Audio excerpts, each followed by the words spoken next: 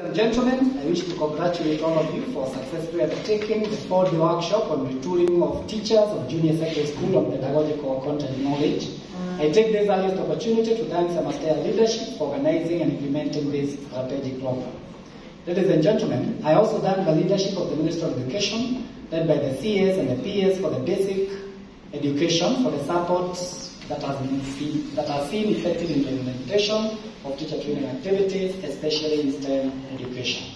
Ladies and gentlemen, the course content focused on three areas, that is the pedagogical content knowledge, the topic on learner-centered pedagogies is a contemporary practice that every teacher needs to be able to implement the lessons accordingly. The school-based teacher support system begins with building communities of practice, a topic that you have also discussed in this course. Ladies and gentlemen, as we implement lessons learned in this course, pay special focus on mentoring our young teachers.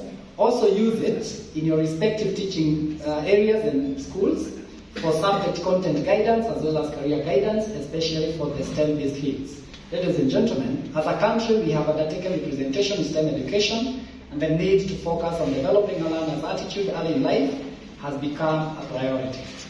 I look forward to positive feedback on success stories of how your respective countries will be implementing uh, this, uh, the lessons learned in this workshop through the cascade system. It is now my humble pleasure to declare the four-day workshop for teachers of junior secondary school officially